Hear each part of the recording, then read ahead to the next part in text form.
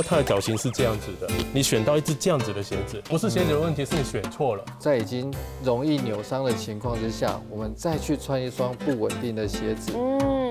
那就好像是我们把一栋高楼盖在这个沙滩。这一次冠片的话是女生她穿着高跟鞋的时候真的满清十大酷刑。是脖子肩膀会酸痛。对呀。原来是因为脚。从脚开始的。周休二日跟陈月琴一起动手做健康。